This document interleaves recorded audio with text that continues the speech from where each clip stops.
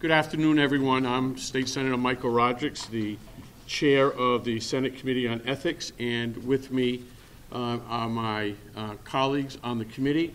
We have Senator Richard Ross, we have Minority Leader Bruce Tarr, we have Senator Will Brownsberger, the, sen- the Vice Chair, Senator Cindy Friedman, Senator Cynthia Creem, uh, we also have our team from Hogan Lovells, um, our lead investigators, independent investigators um, uh, on the investigation. Senate Order 2228 tasked the committee with reviewing the question of the conduct of Senator Stanley C. Rosenberg and whether he violated the rules of the Senate. The Senate has constitutional authority to discipline its members. That authority has been described as a power of protection and exists to protect the integrity of the Senate as an institution. Today, we filed our report concerning the conduct of Senator Stanley C. Rosenberg. The bipartisan committee unanimously adopted the findings and conclusions of the special investigator, Hogan Lovells LLP. Those conclusions were one, that the firewall Senator Rosenberg had promised his colleagues between his private life and his husband, Bryon Hefner, and the business of the Senate was ineffective in restricting his husband's access to information from Senator Rosenberg's office. Two, Senator Rosenberg violated the Senate's IT policy by sharing his confidential computer password with Hefner, giving Hefner unfettered access to Senator Rosenberg's Senate email account. Three, Senator Rosenberg undermined the goal of the Senate's anti harassment policy to promote a workplace free from sexual and other forms of discriminatory harassment because he knew or should have known that Hefner had racially and sexually harassed Senate employees and failed to address the issue adequately. Four, Senator Rosenberg acted unreasonably in allowing Hefner largely unfettered access to Senate information, both through direct access to his email account and through their personal communications about Senate business. And five, Senate, Senator Rosenberg's conduct did not violate any specific Senate rules, including Senate Rule 10, which prohibits senators from using their positions for personal gain. The special investigator's conclusions, which do not establish, establish a violation of any formal Senate rules, nonetheless demonstrate a significant failure of judgment and leadership by Senator Rosenberg in his role as Senate President. That failure undermined the integrity of the Senate and had destructive consequences for the Senate and the people with business before it. Essentially, Senator Rosenberg failed to protect the Senate from his husband, whom he knew was disruptive, volatile, and abusive. Therefore, we, the Senate Committee on Ethics, unanimously recommend that Senator Rosenberg not serve as Senate President, as a member of Senate leadership, or as a chair of any committee for the remainder of the 2017 2018 legislative session and for the entire 2019 2020 legislative session. We wish to thank the special investigative team from Hogan Lovells for their thorough, balanced, and professional work. The resulting report, which we are releasing in its entirety, is about 80 pages long. The investigation included 45 witness interviews of Senate personnel and others with business before the Senate, and a review of tens of thousands of pages of emails, texts, and other material. The interview included an 11 hour interview with Senator Rosenberg and his counsel, who were entirely cooperative throughout the process. The team included in, in the report only those facts that could be corroborated or, the, or were otherwise found credible. The team kept its focus on questions referred by the Senate, which concerned the conduct and actions of Senator Rosenberg. We are grateful to all of those who provided information and shared their experiences with the special investigator. We would like to ensure those indi- individuals that we took steps to protect their identities and will continue to do so going forward. The investigation was structured in a way that we never needed to know the identities of witnesses, and the special investigator never shared them with us. The special investigator drafted the report without using witness names and kept possible identifying information to a minimum. The entire Senate, as a body, will now consider our report and our recommendations. And before I open the floor up for questions, I'll ask uh, Anthony Fuller, the lead investigator, if you'd like to make a statement. Yes.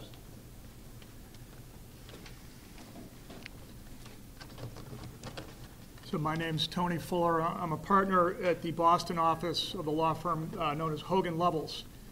With me today are my colleagues Jody Newman and Natasha Tidwell. And so we led the team um, for Hogan Lovells that conducted the investigation into the conduct of Senator Rosenberg, as Senator Rodrigues just described. Our team also included other Hogan Lovells attorneys. Uh, To elaborate a little bit on what was just said, we searched over 250,000 emails, reviewed tens of thousands of text messages and other documents, conducted 45 witness interviews um, of Senate personnel and others who had business before the Senate. Our team of attorneys spent more than uh, 1,200 hours working on the investigation and the resulting report, which you now have, and I'm sure you've read by now uh, in the brief time you've had it. Um, That is mandated by the Senate order. We were uh, required to maintain the confidentiality of any witnesses who sought it. We did that to great lengths. You'll see in the report, the information is de-identified. I want to reiterate that the Ethics Committee had no influence whatsoever in our work, our report, or our conclusions. Senator Rosenberg cooperated fully, as, as was just stated. He was interviewed for approximately 11, 11 hours over two days. Um, So let me briefly talk about our conclusions, which Senator Rogers just alluded to. As we began the investigation, four distinct topics came to focus, and our comprehensive report draws conclusions about each of those four, which I'll summarize. First was the firewall that was alluded to. It's not a rule of the Senate, but it was a standard that Senator Rosenberg announced on December 3rd, uh, 2014. We found that the firewall was non-existent to the extent that it was intended and understood to limit access of information between Senator Rosenberg's office and Bryon Hefner. We found that Hefner had unfettered access both before and after the firewall was announced and after Senator Rosenberg was named Senate President. Second, the IT policy, we found Senator Rosenberg violated that policy continually by sharing his confidential LAS network password with Bryon Hefner from 2009 through February of 2017. By doing that, he allowed Bryon Hefner access to confidential Senate information.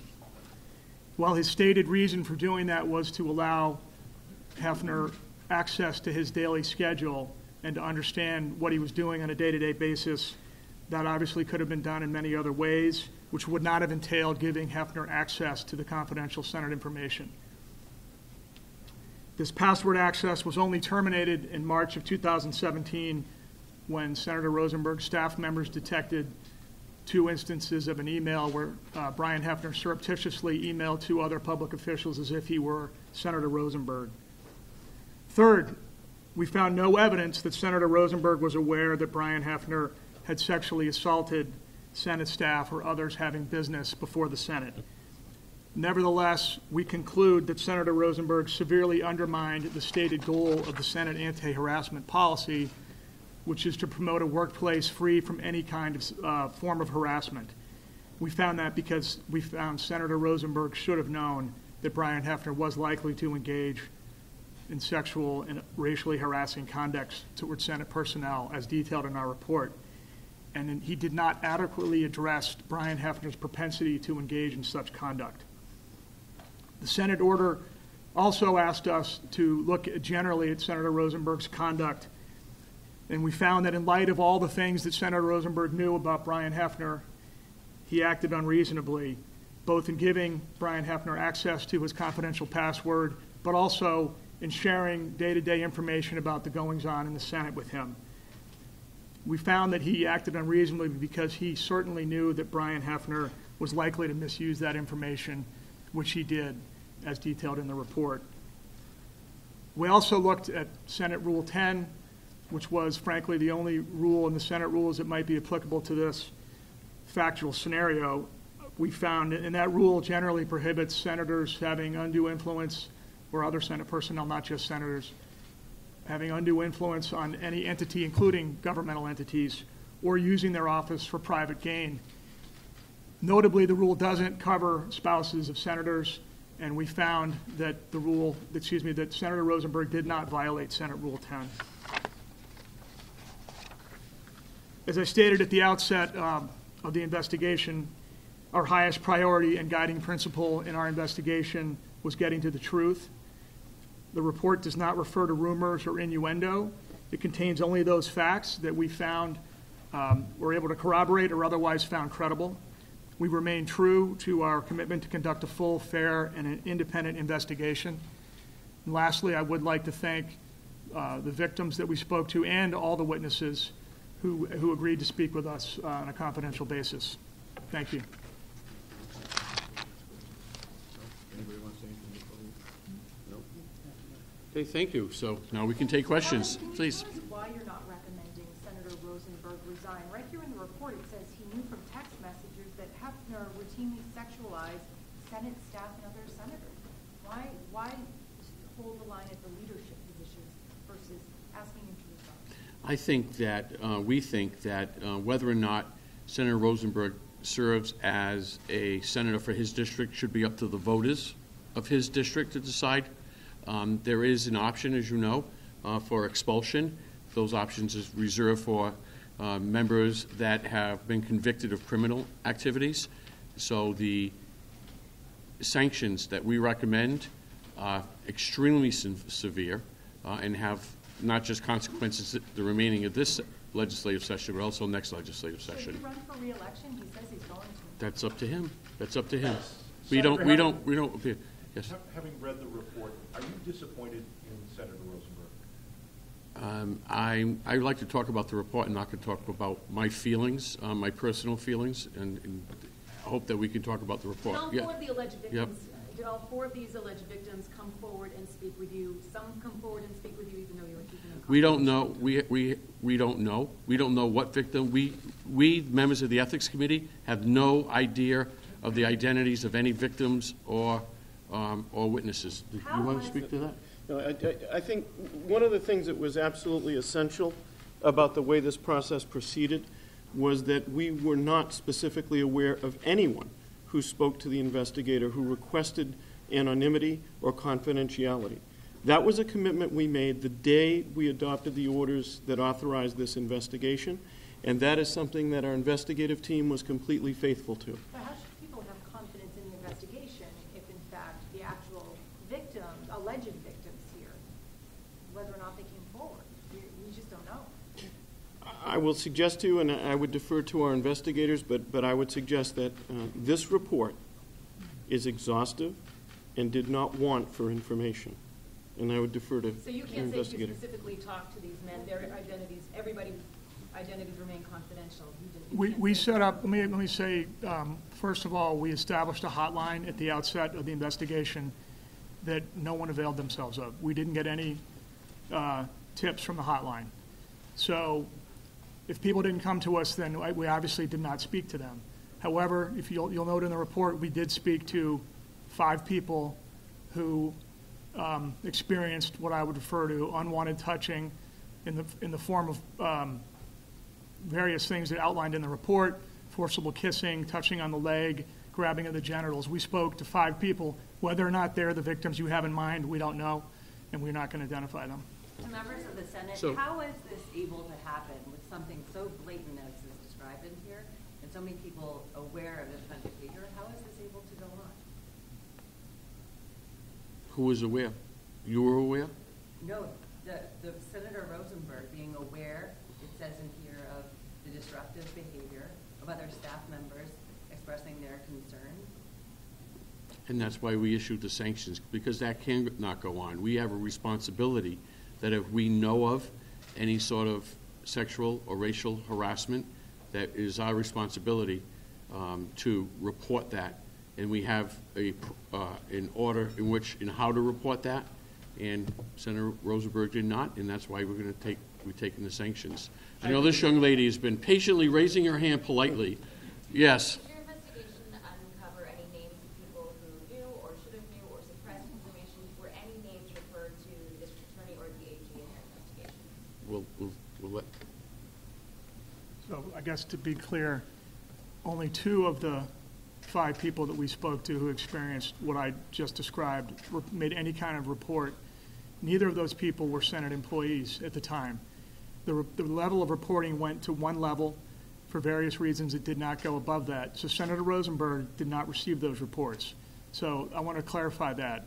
Um, There were no, so whether or not the names were referred to the uh, law enforcement, I would decline to answer that at a deference to, uh, and respect for the, for any investigations and, and certainly a pending indictment against Mr. Hefner. Attorney Phillip, if you could just speak to the fact that no tips were received on this hotline, what does that say to you? I mean, that nobody wants to come forward. That's what it said. Chairman Rogers, is there still an open question about whether or not the full Senate is going to accept this report? Or what is the caucus currently trying to decide? The- They're going to reach a decision today? well, the full Senate received the copy of the report just a few hours ago. As you see, it's 80 pages, it's voluminous, it contains a lot of detail, and we do what we do well and deliberate. And we're deliberating, um, having conversations, trying to get, try to understand what the report says. And we will reconvene tomorrow to do so. Are there additional sanctions still on the table that senators are discussing in caucus? We're not going to talk about what we discuss in caucus. Senator Chairman, what's to- Chairman, what to say about how the Senate police itself, if there's so much troubling evidence that's been found here, that technically no rules were broken? What does that say about how the Senate police itself? There's rules, and in the, if you read Senate Rule 12A, it's not only, doesn't only refer to Senate Rule 10, which the attorney talked about, it also talks about all misconduct. And I think the Senate did an incredible job in policing itself, in taking the report, the, the order seriously of engaging a first-rate, thorough investigator, of conducting that investigation and issuing uh, very serious sanctions. Senator, based on all that we've learned in the report. I can, you know how I'll have to yell in, I'll politely take you in order, okay? Yeah, okay. On all the information we've learned about what he knew, does Senator Rosenberg have the judgment that you think is appropriate for him to continue to stay in the Senate? We stated very clearly in our findings that um, Senator Rosenberg had, Rosenberg had a significant failure in judgment, um, and that's why we are recommending, um, he's already stepped down as Senate President, but we recommend he cannot be considered uh, for Senate President. Not only that, we go beyond that, of any leadership position or any, any um, chair, the chair of any committee. And think about that. Th- Many of you know that every Democratic senator in the Senate is a chair of a committee. But to still be part of the lawmaking process?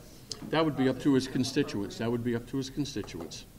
We're not going to, we're not going to judge. Go ahead. Senator Todd?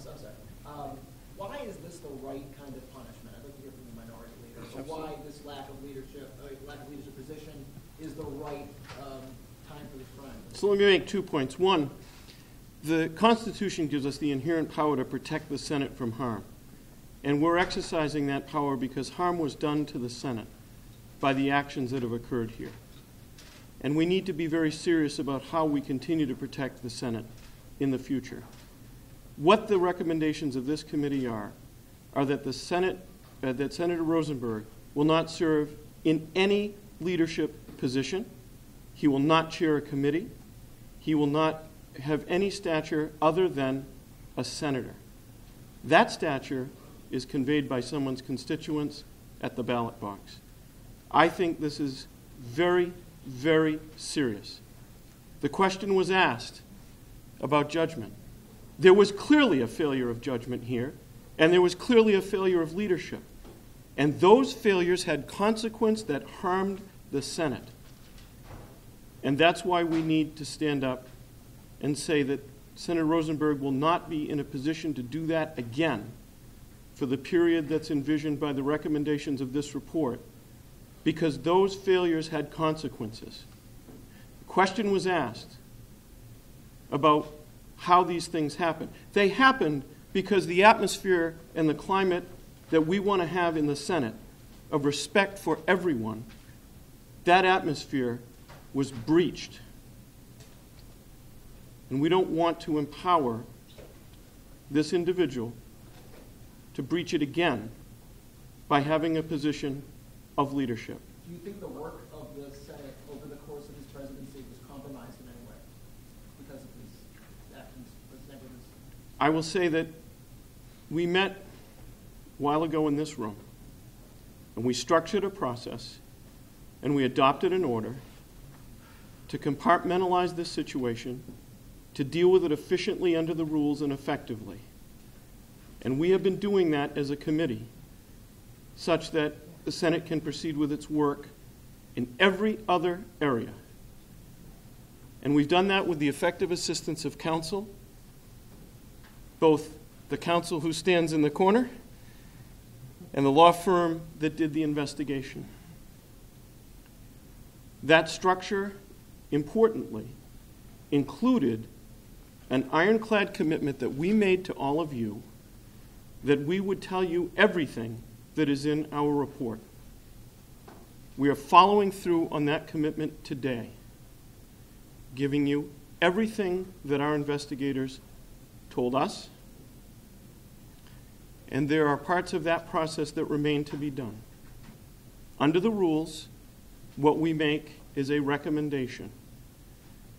It is not the end of the conversation. It will be debated, and it will be fully considered. Should those Senator, what rules- harm do Could you you tell us whether or not those rules ought to be updated? Let me suggest that at the beginning of every legislative session, we consider our rules and we adopt a set of rules. And I think they, not only should we look at what has happened here, we will. And I think all of us are deeply, deeply concerned with what's happened here. Today, we discuss what the appropriate measures should be to deal with this situation. Tomorrow, we will likely discuss preventative measures, but it is not for today's discussion. What harm Chairman do you think has been done to the Senate? I'm sorry, Beth, go ahead. What harm do you think has been done to the Senate? There was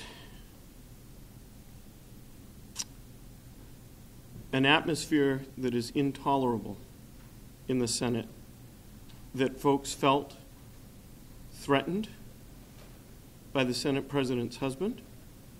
They felt concerned about their ability to effectively function in this building.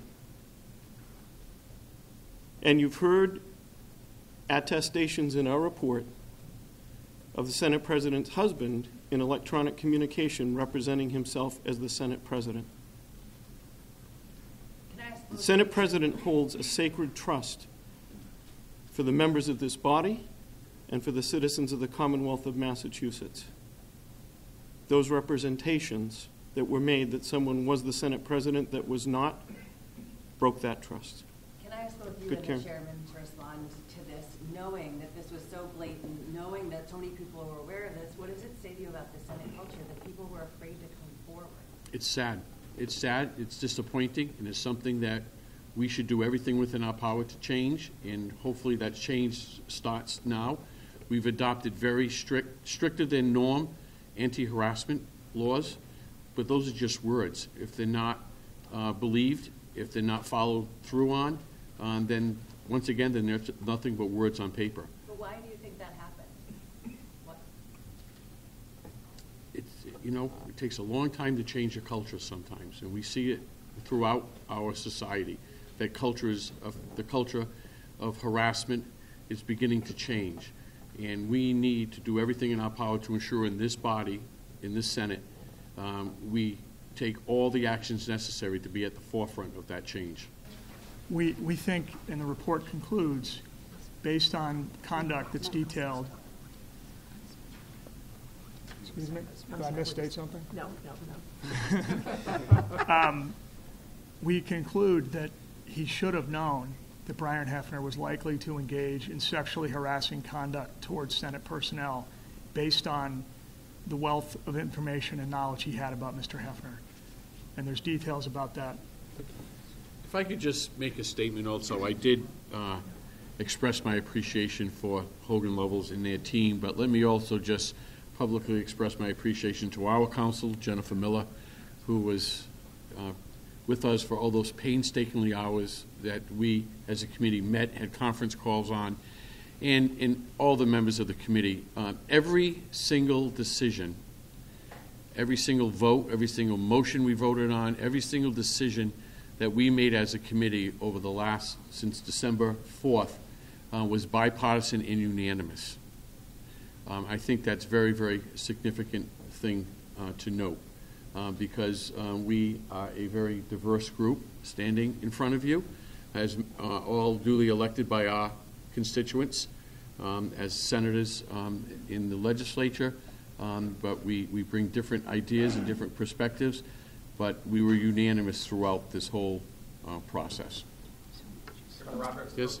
Okay, So, ladies first. Yeah. I just have something. In 2014, when the uh, firewall letter came out as a response to um, Hefner bragging about his uh, influence over Senator Rosenberg, did the Senate investigate at that point? Was any, did any conversations happen? I noticed here, it says that he got that letter without any input from legal counsel. So what was the response from the Senate about that? So the Senate investigates actions of its own members. Bryon Hefner is not a member, he's a spouse of a member. Uh, So what we've done in our investigation, in our order is investigate, investigate the actions and conduct of our member, Stanley Rosenberg. Is there a And- mechanism though to, there's gotta be, if you see there are issues now when it does not, you know, pertain to a spouse or, you know, other things might influence the conduct of the senator. Will those rules? be- If a, if the conduct of a senator is influenced, then there was, then the senator's conduct has been, is under question and violates the rules. This Cindy? firewall didn't meet the, No, it did not. We, we, we cite that specifically in our press statement, that that firewall failed. It was not a true firewall. But I think in 2014, we hope that it was, was the the Senate President, the then Senate President, represented that that's what he was going to do, and that's what failed. We relied on that. Senator Creem, wish to say I- something? I think you, you actually took it up, but in question to the rules, um, we have to differentiate between the actions of Mr. Hefner and the actions of Senator Rosenberg. And some, and we read the report, it's very egregious, but mostly you're reading the actions of Bryon Hefner. Uh, The question was, the information, was it available or it should have been known by Senator Rosenberg? But those thing, rules, et cetera, were mostly done by uh, not a member of the Senate. Did Rosenberg lie to his members by insisting the firewall was working? If you read the Either if that's report, clear or if you felt that way. uh, in the report, I think you need to read, the- in the report, uh, I think that he states that he had a different idea of what the firewall meant. Uh, We all uh, had a similar idea, but unfortunately, it appears that it was different than the idea that Senator Rosenberg had. Take one last question. uh, Senator Rosenberg's lower staff members face discipline because according to the report, they directly receive these reports of sexual misconduct. So are they either still in the Senate and does anyone else face discipline or investigation? Uh, We don't know the identities of those lower staff. We don't know, we've, they were witnesses, so they were, their identities were protected also. So we don't know if they're still currently employees or, because we are protecting the identities of all Now that you know this, witnesses. though, do you think this is something that should be looked into if people knew this information and failed to protect others? We will have a thorough review, as we do every legislative session, of all of our rules. Can you Yep. address the question about racial harassment, because that sort of seems to be a new element that we haven't heard about before. The summary that the committee released said that Senator Rosenberg knew or should have known that Yep. Hefner had racially and sexually harassed Senate employees and Tony? failed to address it Racial. adequately. But the The summary here harassment. indicates one incident where this happened, and then it includes saying the staff member believed Senator Rosenberg sufficiently addressed the issue with Hefner because the member received no further phone calls. Can I, can I address one thing before that? The question about whether uh, the junior staff member should face discipline. Um, I want to be, and it's very clear in the report that the victim um, did not report all of the details of what was reported to us, and that the person who received the report didn't understand that the person was receiving some kind of official complaint that, w- that was of the nature that should be brought up the chain of command. So that's clear in the report. I don't want to have a misconception based on anything that was said here today. And I apologize, sir, about, I don't, I didn't catch your entire question because I was, Well, it's just this, the, the issue of- of racially harassing uh, people that had not really been part of what we understood the case was about until now.